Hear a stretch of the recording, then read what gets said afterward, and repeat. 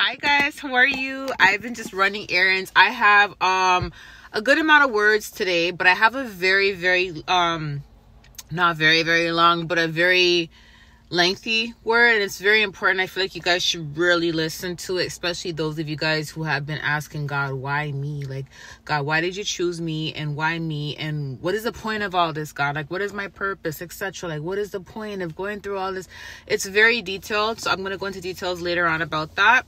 I will be driving. I know a lot of you guys don't like when I drive and I record. However, I just want to remind you guys that when I'm driving, one i'm not paying attention to my phone. I'm just talking out loud. And it's no different from me listening to music and singing and talking to my kids or talking to god in the car. So i'm not really paying attention to you know the phone at all okay? I'm not really paying attention to the phone at all. I'm and it's very therapeutic when i drive. You get what i'm saying? It's like b- being on a road trip talking to your friends in the car. It's no different you know? Um but this quick word is about this is specific and direct. This is about a friendship Okay, and this may resonate with a lot of people, and we've all been in the situation on both ends, right? But I want to give someone this confirmation that there is a friend from your past, okay? And this may be like a far past friend. It doesn't have to be a recent friend. Like the way how God showed it to me is there is a friend from your past who is disappointed, and they're disappointed because they are looking at where God is taking you whoever you are, they're looking at where God is taking you. They're looking at the changes, the transitions in your life, and they're feeling a bit disappointed because you guys are basically around the same age and they have stayed in that position that they've been in for a very long time and you have elevated to a different position and there's a bit of disappointment not because you're elevating the, the friend the way god showed to me the friend is very proud of you okay the friend is disappointed in how they treated you because you are very influential in their life. You are a very good role model in their life. And you are the kind of person that would have helped them elevate to the next level. I'm not talking about money wise or friend, no, but mentally, emotionally, spiritually, you are that friend that everybody desires to have. Okay. And listen, we've all been a bad friend once in our life. You know, I've been a bad friend in my far past to maybe a couple of my friends, and I could admit that, you know, and I've, I've asked God for forgiveness. I was not perfect. But as you grow and as you mature, you start to learn and you start to realize, wow, you know, I have to, you know, I have to be the person I want to attract. You get what I'm saying?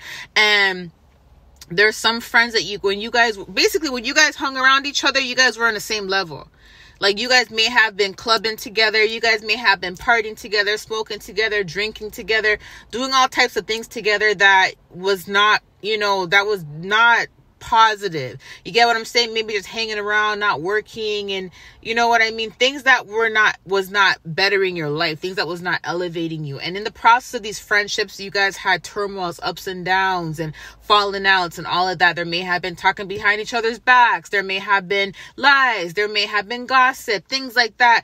But you were the one in this friendship who consistently was genuine. You were the one in this friendship who really wanted out of this type of environment and situation. Not out of the friendship, but more like out of the type of lifestyle you both were living. You were you were probably the one that was like, "Hey, we got to do better. Hey, we got to change. Hey, we got to level up." You were probably the one that was trying to motivate them to get to the next level. You were the type of one that was trying to tell them to go back to school. You were the type of one that's like, "Hey, let's start a business. Let's do this." Like it's like you whatever ideas that came to you, you were trying to share with this friend because it's kind of like you're trying to let them know that we can't stay in this funk for a long time. We're getting older. We got to do better things with our life. And what ended up happening was this friend was holding you back. What ended up happening was every time this friend was around you, you were slowed down. You started falling back into certain behaviors that you're trying to stop, right? And ever since you cut this friend off or these friends off, you notice that your lifestyle changed. You notice that you know you know that you were able to go back to school or you notice that certain things has changed. And then now it's kind of like when you when you i don't know if you've reconnected with this friend or not but it's kind of the way god showed to me is now when you communicate with this person or if you saw this person or checked up on them or whatever you did they're basically still in the same position they were in back then. Like nothing has changed. Like they have not went back to school. They have not did anything to basically better themselves. They're still in the same boat. And this person is looking at you and they're very proud of you, they're not hating on you, okay? Because God showed me they're not hating on you.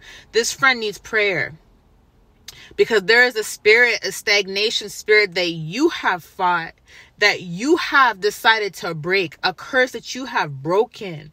There is something that is lingering in this friend's life, and it's it's tied to the family. Thank you, Holy Spirit.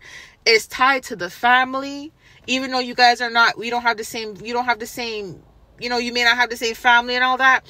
It's time, it's tied to the family but at the same time you chose to fight and break it and they they were not strong enough at the time and it's kind of like they don't know how to fight they don't know how to fight through it and they now that they're growing and they're older and they understand spirits they understand stagnation they under it's like when you get older and you start maturing you realize something's not right you're like i shouldn't be this age you know, still going through this, something's not right. You start to, you know, receive wisdom and stuff. But then you also think back to the people who are very much going through what you were going through and looking at them today and seeing where they are. And it's kind of like, God, I wish I was a good friend to this person because where this person is today, I want to know how they broke it. I want to know how they fought through this. I want to know how they did all that. But I, I can't, because I was not a good friend and I messed up my chance to be in this person's life. I don't have anyone or have not met anyone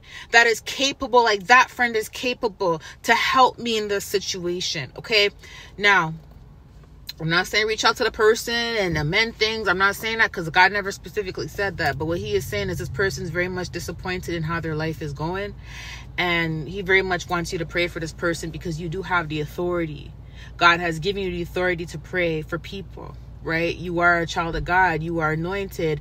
You have that you have you are powerful when it comes to prayer and when it comes to what it is that you are manifesting. Why are you powerful? Because anything you ask god for god is able to help you with as long as you are obedient and as long as it's according to his will. So if you are praying for someone and asking god to uplift someone to help someone god is definitely going to help them. Do you get what i'm saying? Some people are not strong enough to pray for themselves. A lot of people are not strong enough to pray for themselves. Why? Because they lack faith so that's where you come along and you say, God, I'm willing to pray for this person in hopes that you can restore, help restore some faith in this person so they can drop on their knees and they can pray to you for themselves. But I'm here to start it. I want to start it. I want you to encourage them, Lord. I want you to help them, Lord. So you have to be the one, you know, to be able to help this person through prayer okay this friend is very much not hating on you this friend is very much proud of you and this friend is very much happy for you but this friend is very much also going through a lot of regrets that they have let you go or that what they have done to you in the past. They wish that the wisdom they have today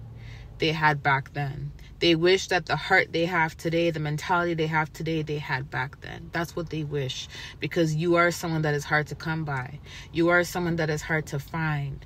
And people need people like you in their lives because you are a motivator, you are an encourager, you are like a soul brother, a soul sister to a lot of people. And trust me, it may not be that just one friend. There's people that are looking at you right now that are realizing, you know what?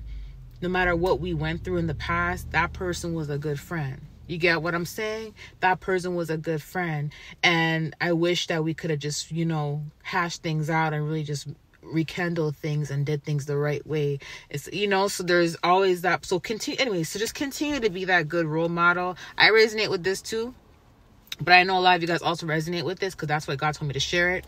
Um, I don't even know who it would be for my situation because I have a bunch of friends in the past. Just like you guys may not know who it is. But the point of the matter is just pray for anyone that you had a friendship with in the past.